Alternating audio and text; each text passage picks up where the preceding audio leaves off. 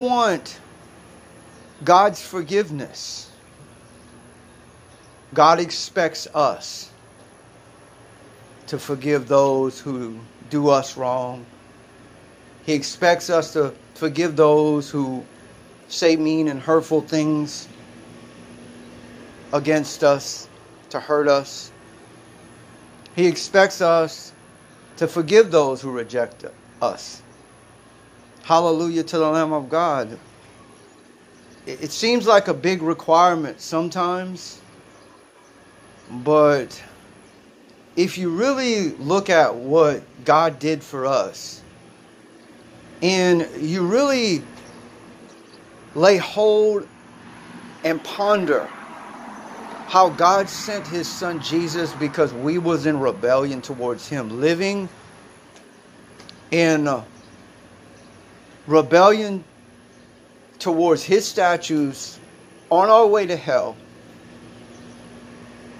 Hallelujah to the Lamb of God. He sent his son Jesus. He demonstrates his love towards us. He sent Jesus to die for our sins. And not only that, he reached into our lives and pulled us out of the muck of sin. Hallelujah to the Lamb of God. Because let me say something no one saves themselves.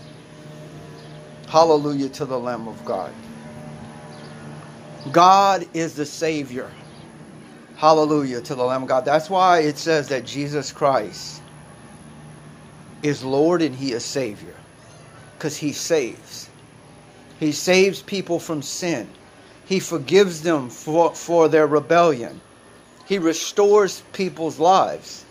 Hallelujah to the Lamb of God. So if we can look at what God did for us and really ponder it and see how serious it is because this is a big thing. The Bible is a bloody book. It's a bloody story, but it's a story of redemption. It's a story of God's love and mercy. And it's also a story of God's holy hatred towards rebellion. Hallelujah to the Lamb of God. It's a bloody book, but it's a real story. Hallelujah to the Lamb of God. It's real accounts. Hallelujah. It, it tells us about God's love for us and His forgiveness towards us. And if we can look at that and, and see what the Lord did for us, then it will help us to be merciful and forgiving towards those who do things towards us. Because we want to maintain God's forgiveness in our lives. And a lot of people, they lose the forgiveness of God is because they hold grudges towards people. And God is not going to forgive you if you want to hold grudges towards other people and not forgive them. Hallelujah to the Lamb of God. Remember when Peter asked Jesus, he said, Lord, how many times should I forgive my brother if he sins against me? Seven times seven? And uh, Jesus said, No, Peter, 70 times seven. In other words, you keep forgiving. You see, God's not going to require you to do something that He's not going to do. That's why He said that in the text. And that's how we maintain our forgiveness with God. A lot of people they fall away because they withhold forgiveness from others. They hold in grudges and it makes them bitter. They they lose God's grace. Hallelujah to the Lamb of God. They don't follow after peace with all men in holiness like the scripture says. Hallelujah to the Lamb of God. We have to love people and forgive them for what they do to us. And uh, God forgives us if we mess up along the way of walking with Him. If we stumble, God forgives us, but He expects us when other people sin against us to forgive them. Hallelujah to the Lamb of God. God's a God of great mercy, and the Bible says that we are to be ye perfect as our Father in heaven is perfect. So he extends mercy to people who repent. And He'll give us forgiveness and allow us to walk in His love and allow us to walk in His grace as long as we are walking in forgiveness. Hallelujah to the Lamb of God. We must be willing to forgive others. God forgives us. Hallelujah to the Lamb of God. God is a very forgiving God. He's great in compassion and mercy. Hallelujah to the Lamb of God. But he's also to be feared. The Bible says that it's the fear of God that perfects holiness. Hallelujah to the Lamb of God. We are to have a fear of God and we are to love God. These two go together like a peanut butter and jelly sandwich. Hallelujah to the Lamb of God. It's the fear of God that keeps you on the narrow way to holiness. It's the fear of God that keeps you in that place that when people come against you, when people that you love hurt you, that you don't harbor unforgiveness towards them. The fear of God causes you to extend mercy to them and say, Father, forgive them I forgive them, for they know not what they do, because you know that God is a God that doesn't play. He has rules and He has boundaries for us. Now we are to love God, but we are to fear Him. Hallelujah to the Lamb of God, because He has boundaries that He set for His children. There is rules that He has set for us, and we're not to cross those boundaries. We're not to cross those rules. And the fear of God keeps you from crossing over those boundaries. Hallelujah to the Lamb of God. It's the fear of the Lord that perfects holiness. That's what the scripture says. Now, of course, we love God because we walk with Him. And uh, He does good things in our life. He changes our, our heart. Hallelujah. He radically sets us free. We walk in freedom. We walk in a closeness to Him in relationship. He answers our prayers. He uses us for His glory. Yes, He's loving. Hallelujah to the Lamb of God. We can have sweet fellowship with Him in prayer, but He's also to be feared. We are to fear God and we are to love God, just like an earthly father. Hallelujah to the Lamb of God. A righteous and good earthly father who raises his child up will raise his child up the right way and he will set boundaries and rules for his child. And see, the child, he'll love his father, but he'll also fear his father because his, he knows his father set in rules. And if he crosses those rules, there is consequences to pay. He knows that if he crosses those boundaries, that he's going to be in trouble with his father. Hallelujah to the Lamb of God. And that child loves his father, but he knows that his father does not play, that his father set in rules, and he's not to cross over them boundaries. Hallelujah to the Lamb of God. It's the same thing with us and our Heavenly Father. He has set in rules for us not to cross. Hallelujah to the Lamb of God. And He doesn't play games. Yes, He's forgiving, but we don't cross those boundaries. We strive to walk the narrow way of holiness.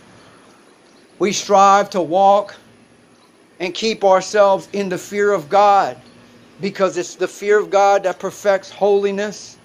We love God. We walk with Him. He's good. He's compassionate, but He is to be feared and He is to be loved.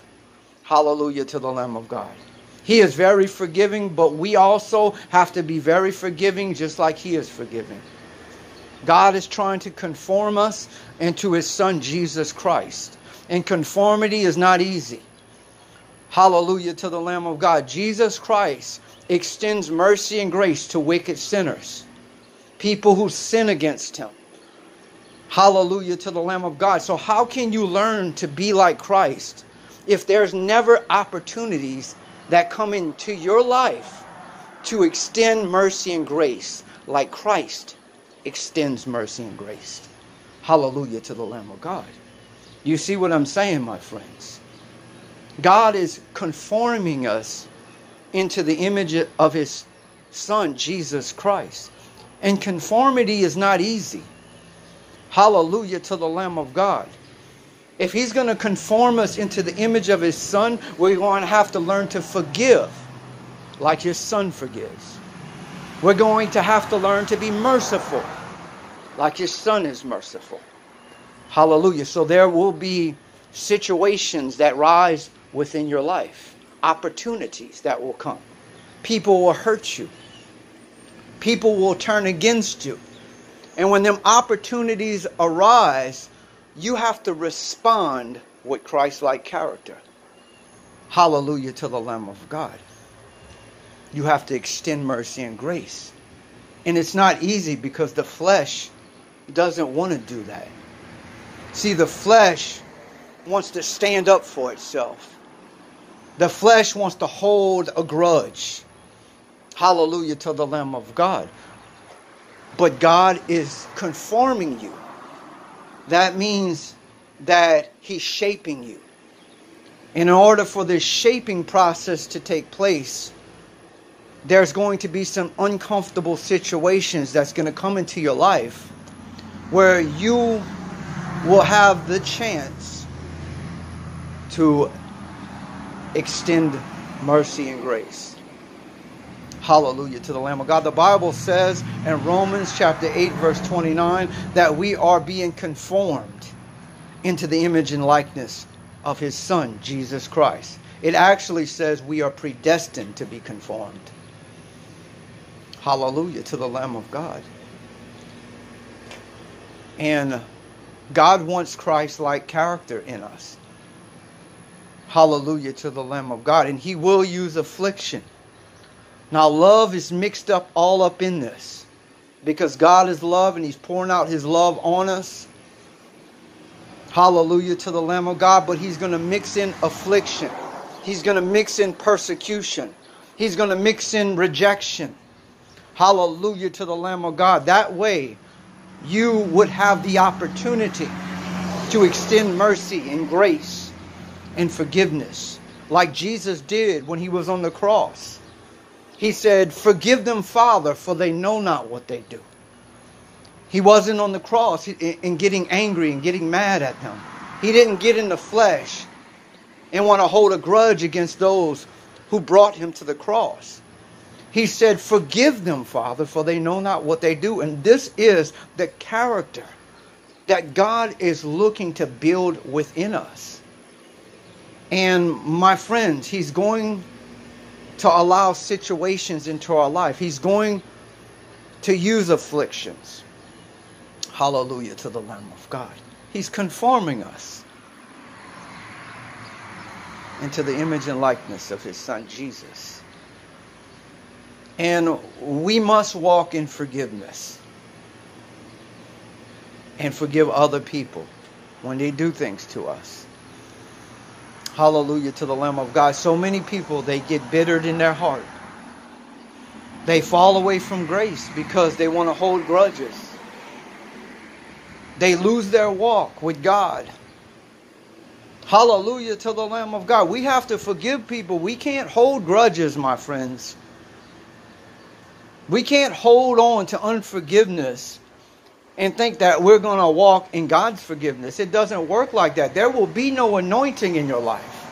The love of God will be pulled back. Why? Because you're going to wither away on the vine. Why? Because you are crossing those boundaries that God has commanded you not to cross. Hallelujah to the Lamb of God. The Bible talks about the unforgiving servant in the book of Matthew, chapter 18. Hallelujah to the Lamb of God. He refused to forgive somebody that owed him something. And the scripture says in verse 34 And his master was angry. The servant's master was angry and delivered him up to the torturers until he should pay all that was due to him. So my heavenly Father also will do to each one of you from his heart if he does not forgive his brother his trespasses. he says he's going to hand you over to the torturers. If you do not forgive from the heart your brother his trespasses, that's what the scripture says. What is the torturers? They're demons. Hallelujah to the Lamb of God. They're, that's the torturers. So you look at people, they all bitter, they full of depression and oppression. A lot of times what's going on is they holding on to unforgiveness. They got offense in their heart. Hallelujah to the Lamb of God. And they are handed over to the torturers, just like the scripture says. So there's no peace in their life. Why? Because they have crossed over that boundary that God said don't cross. And they never came back. They never chose to forgive. They held on to it. They crossed the boundary. They broke the rule. And they never turned and came to the Lord and said, I'm sorry, and, and, and chose to forgive that person. And because of that, they began to get bitter. Depression came in. They began to get oppressed and sick. They was handed over to the torturers, just like the scripture says. They refused to forgive. Hallelujah to the Lamb of God. So let's walk in forgiveness, my friends. If you are being tormented with bitterness, if you are being tormented with anger, if you are being tormented with oppression, you need to examine your life and you need to look at people that you might be holding a grudge to and you need to be willing to let it go. Hallelujah to the Lamb of God. Do whatever you got to do to get that thing off of your soul. Hallelujah to the Lamb of God. Even if it means going to that person that you've been holding a grudge against and saying, Look, I'm sorry. Please forgive me. You might not even know that that I've been holding a grudge against you because of something you did to me a while back. But I want to tell you and confess this to you, and I want to tell you I'm sorry and I love you. I love you. And then you come to God and say, I'm sorry, so that you get restoration. Hallelujah to the Lamb of God, that you would be delivered from the torturers and you would be restored back to the grace of God. Hallelujah to the Lamb of God. Be blessed today, saints of God. Walk in forgiveness. In Jesus' mighty name.